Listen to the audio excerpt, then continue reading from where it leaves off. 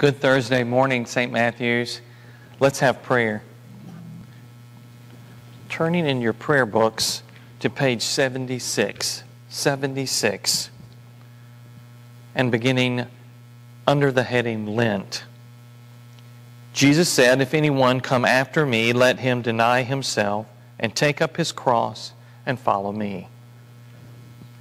Now, turning the page and over to page 79. Let us confess our sins against God and our neighbor. Most merciful God, we confess that we have sinned against you in thought, word, and deed, by what we have done and by what we have left undone.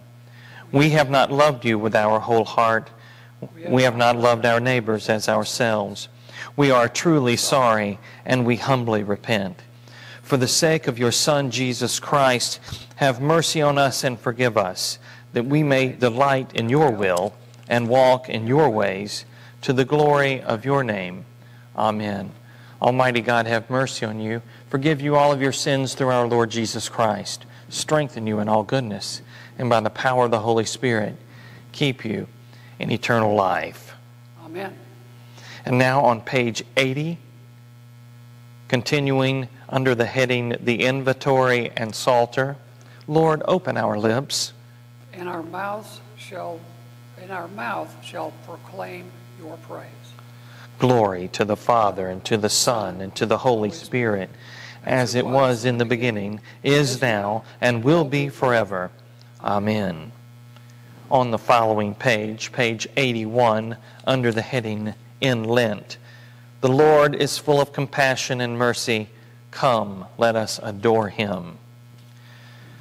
Now, turning the page to page 82, and at the bottom of that page, let us say together in unison the Jubilate.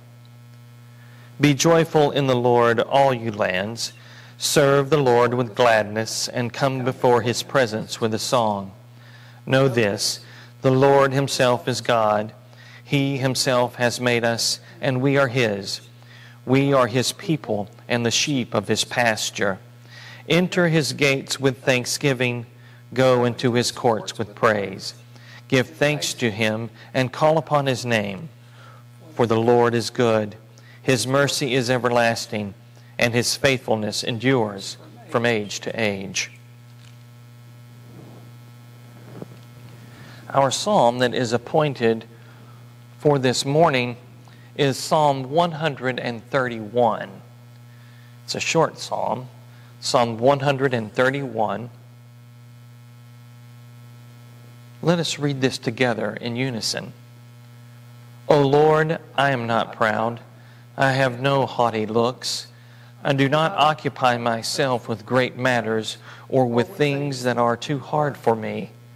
But I still my soul and make it quiet like a child upon its mother's breast. My soul is quieted within me. O Israel, wait upon the Lord from this time forth forevermore. Glory to the Father, and to the Son, and to the Holy Spirit, as it was in the beginning, is now, and will be forever. Amen.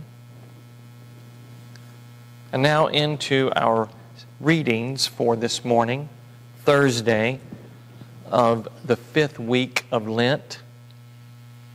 Our Old Testament reading is again from Exodus chapter 7, verse 25, through chapter 8, verse 19. The book of Exodus 7:25 through 8:19. Seven days passed after the Lord had struck the Nile then the Lord said to Moses, Go to Pharaoh and say to him, Thus says the Lord, Let my people go, so that they may worship me. If you refuse to let them go, I will plague your whole country with frogs. The river shall swarm with frogs. They shall come up into your palace, into your bedchamber, and and your bed, and into your houses of your officials and of your people, and into your ovens and your kneading bowls. The frogs shall come up on you and on your people and on all your officials. And the Lord said to Moses, Say to Aaron, Stretch out your hand with your staff over the rivers, the canals, and the pools, and make frogs come up on the land of Egypt. So Aaron stretched out his hand over the waters of Egypt, and the frogs came up and covered the land of Egypt. But the, magi- the magicians did the same by their secret arts, and brought frogs up on the land of Egypt.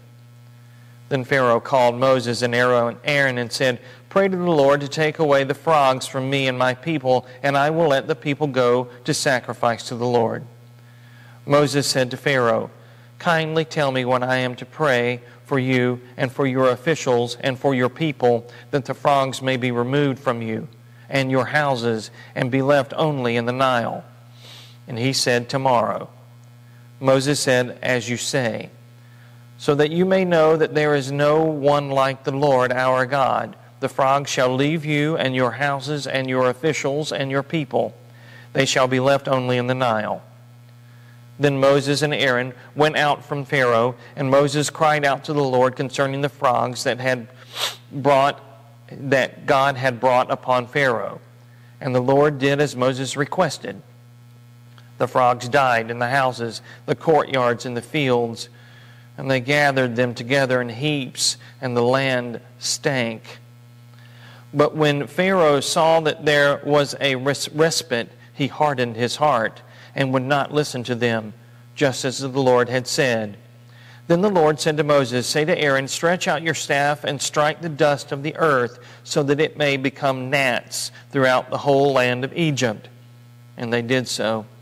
Aaron stretched out his hand with his staffs staff and struck the dust of the earth, and gnats came on humans and animals alike. All the dust of the earth turned into gnats throughout the whole land of Egypt.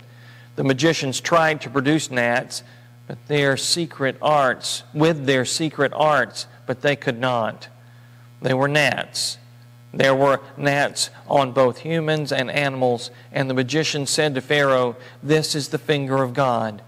But Pharaoh's heart was hardened, and he would not listen to them, just as the Lord had said. Here ends the reading. And now, turning back into the daily office to page 85, page 85, we will read together the eighth canticle, the Song of Moses. Cantamus, cant, Cantamus Domino. I will sing to the Lord, for he is lofty and uplifted. The horse and its rider has had hurled has he hurled into the sea. The Lord is my strength and my refuge. The Lord has become my Savior. This is my God, and I will praise him, the God of my people, and I will exalt him. The Lord is a mighty warrior.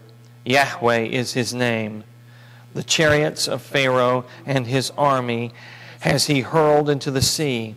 The finest of those who bear armor have been drowned in the Red Sea. The fathomless deep has overwhelmed them.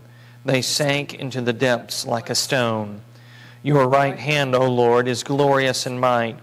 Your right hand, O Lord, has overthrown the enemy. Who can be compared with you, O Lord, among the gods? Who is like you? Glorious in holiness, awesome in renown, and worker of wonders. You stretched forth your right hand, the earth swallowed them up. With your constant love, you led the people you redeemed. With your might, you brought them in safety to your holy dwelling.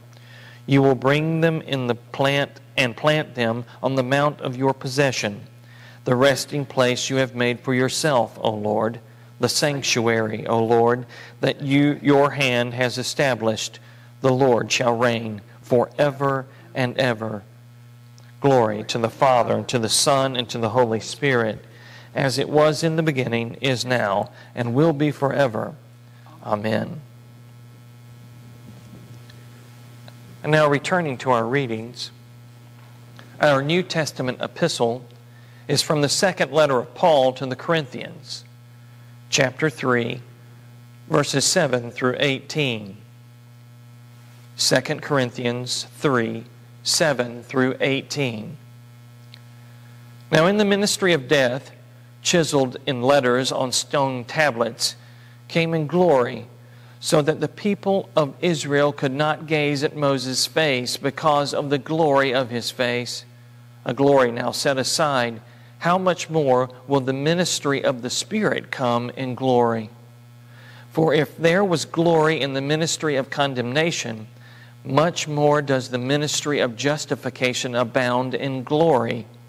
Indeed, what once had glory has lost its glory because of the greater glory.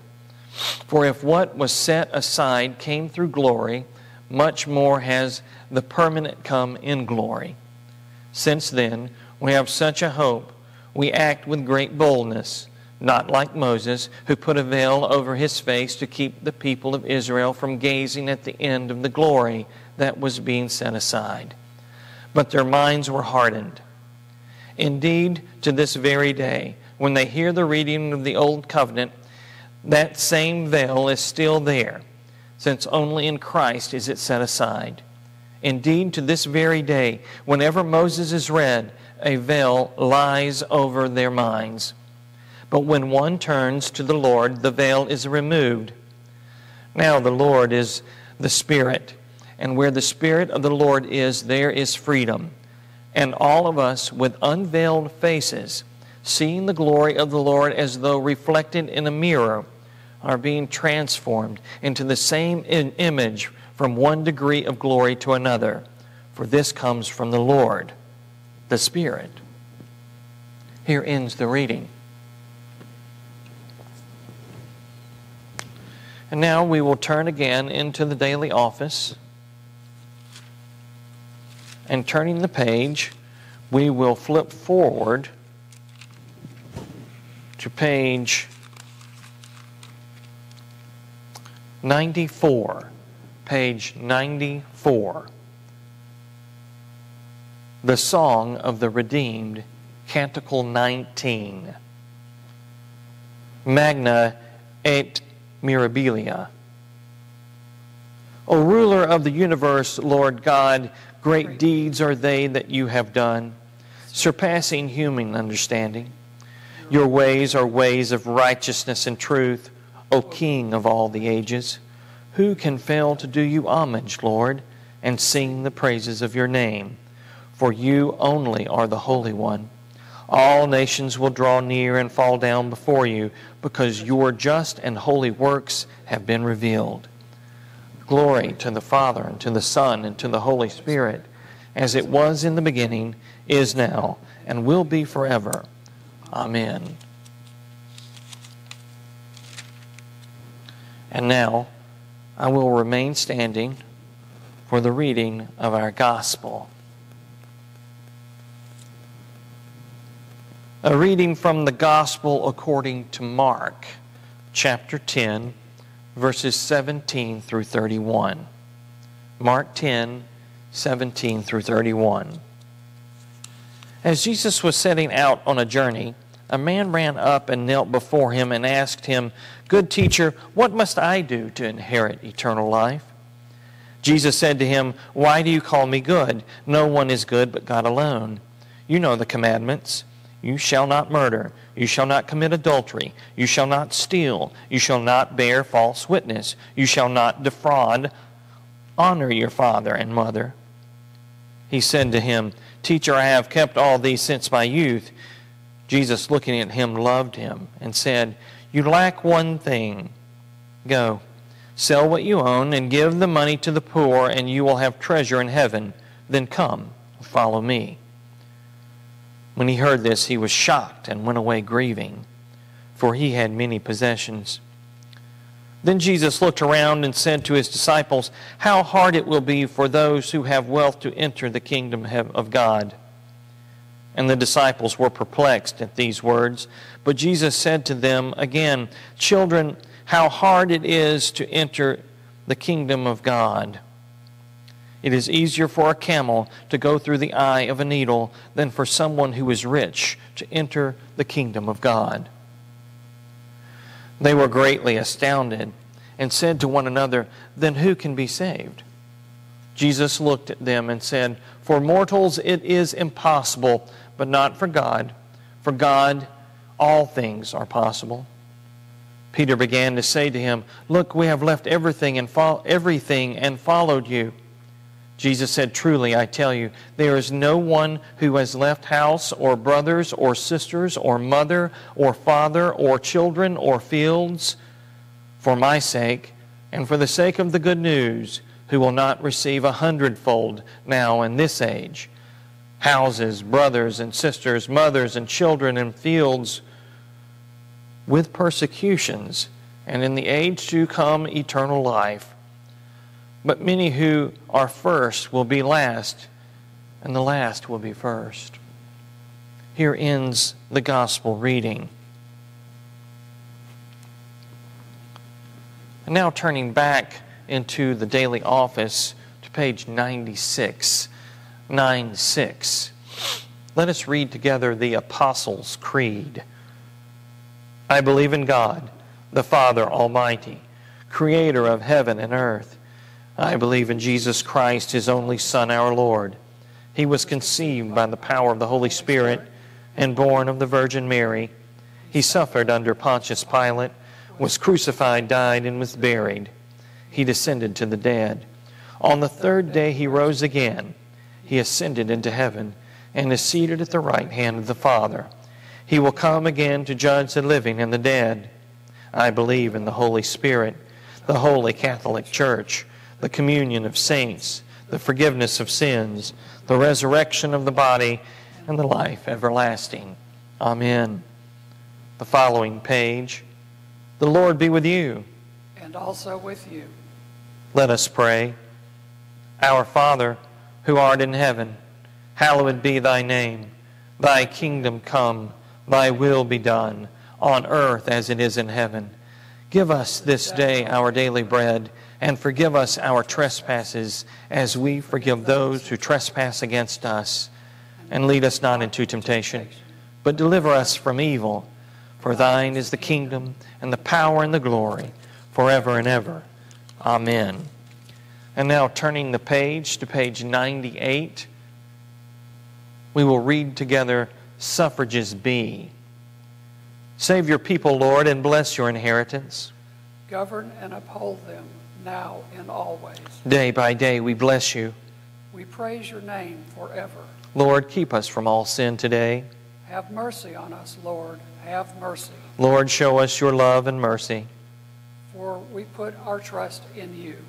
In you, Lord, is our hope. And we shall never hope in vain. The collect for today is the collect from the fifth Sunday in Lent. Almighty God, you alone can bring into order the unruly wills and affections of sinners. Grant your people grace to love what you command and desire what you promise, that, among the swift and varied changes of the world, our hearts may surely there be fixed where true joys are to be found. Through Jesus Christ our Lord, who lives and reigns with you and the Holy Spirit, one God, now and forever. Amen. Continuing now in the office, let us turn to page 100. Page 100. A collect for guidance. Heavenly Father, in you we live and move and have our being. We humbly pray you so to guide and govern us by your Holy Spirit, that in all the cares and occupations of our life we may not forget you but may remember that we are ever walking in your sight through Jesus Christ our Lord. Amen. Amen. Now a prayer for mission. O God, you have made of one blood all the peoples of the earth and sent your blessed Son to preach peace to those who are far off and to those who are near. Grant that people everywhere may seek after you and find you Bring the nations into your fold. Pour out your Spirit upon all flesh, and hasten the coming of your kingdom. Through Jesus Christ our Lord. Amen. I now invite your intercessions, your thanksgivings, your requests, petitions.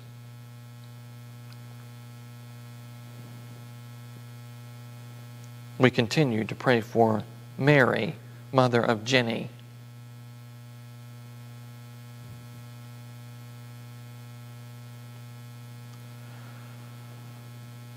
We pray also for Miles, Paul Marquise's son.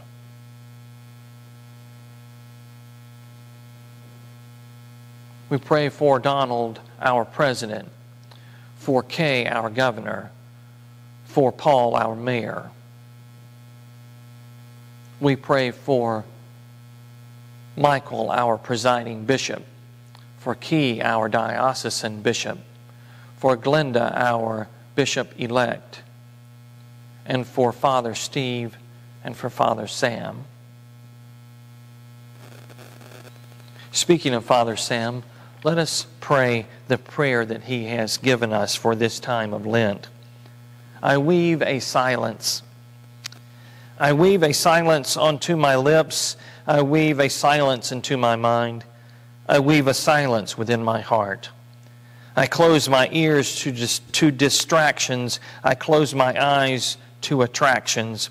I close my heart to temptations. Calm me, O Lord, as you stilled the storm. Still me, O Lord, to keep me from harm. Let all the tumult within me cease. Enfold me, Lord, in your peace. Amen. And now, continuing on page 101, let us say together the general thanksgiving. Almighty God, Father of all mercies, we, your unworthy servants, give you humble thanks for all your goodness and loving kindness to us and to all whom you have made.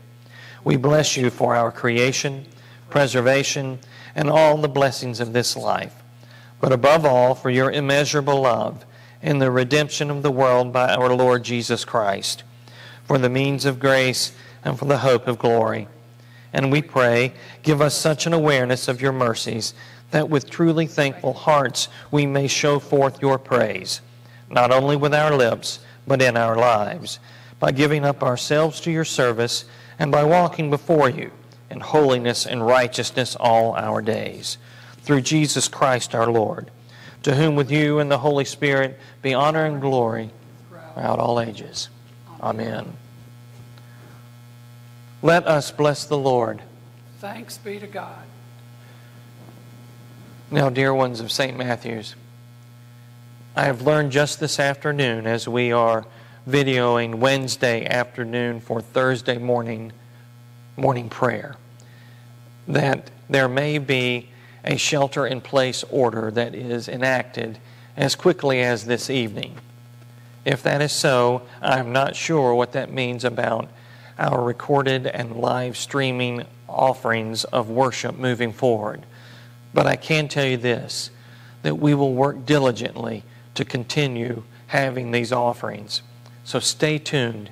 We will be emailing the, the parish with whatever uh, whatever we are able to decipher. So now, take care of yourselves. Take care of each other. And I'll see you soon for prayer. May the God of hope fill us with all joy and peace in believing through the power of the Holy Spirit. Amen.